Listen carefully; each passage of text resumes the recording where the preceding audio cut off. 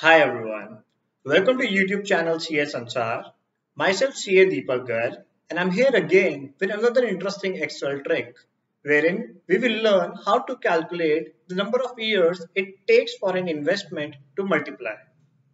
You must have heard about the rule of 72, 114, 144 wherein if we divide the rate of interest with these numbers then we get an approximate number of years in which our investment will become double triple, or say five times. But instead of learning these numbers, let us use a simple Excel formula to determine the time the investment will take to grow X number of time. So let's understand this with the help of an example.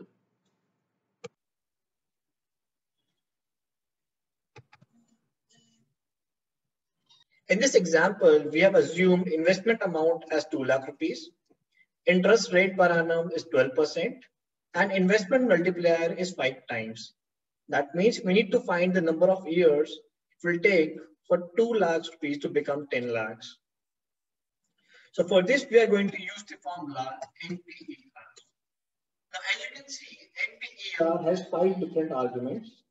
So let us first understand each argument in detail. So the first argument is rate. Rate simply stands for the interest rate per period.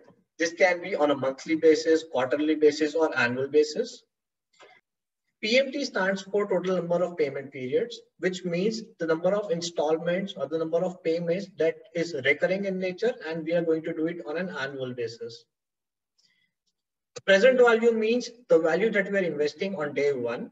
In our case, it will be 2 lakhs. FV means future value.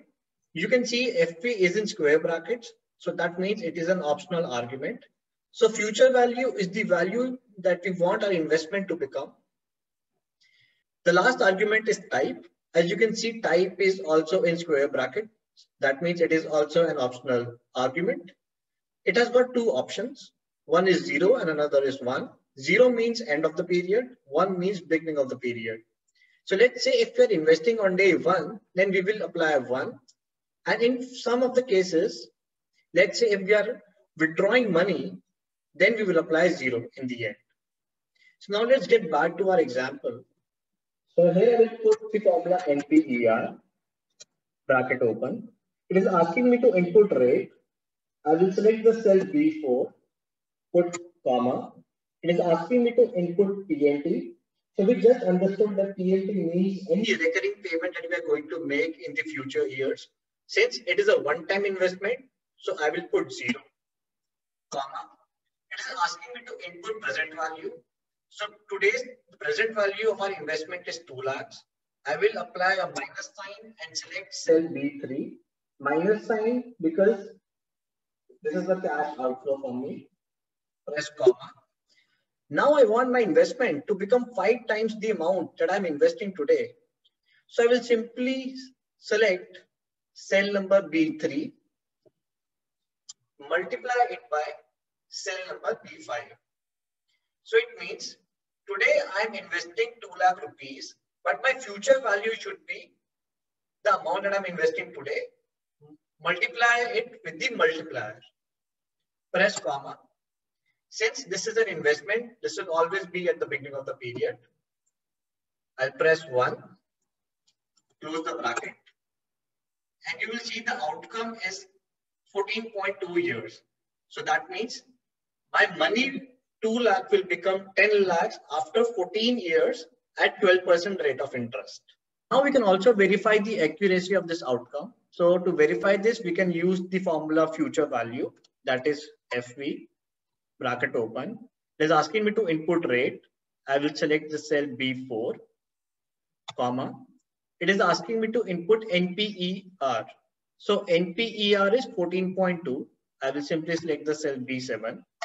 It is asking me to input PMT. So as explained before, PMT means any recurring payment. Since this is a one-time investment, I will put zero. Press comma. It is asking me to input present value, which is minus 2 lakh rupees, comma. It is asking me the type. I will select one close the bracket and press enter. Now, as you can see, my investment was 2 lakh rupees. The rate of interest was 12% and the multiplier that I wanted was 5. So my total investment will become 10 lakhs after 14.2 years. So let's say if I change the percent rate of interest now, like let's say if I change it to 15% and I also change the investment multiplier to 7. So my total investment, that is 2 lakh rupees today, will become 14 lakhs in a time span of 13.92 years. Similarly, if I change the multiplier to 10, my investment will become 20 lakhs in a time span of 16.48 years. So you can simply tweak the rate of interest or multiplier using this Excel spreadsheet. I hope you like this video. Thank you so much.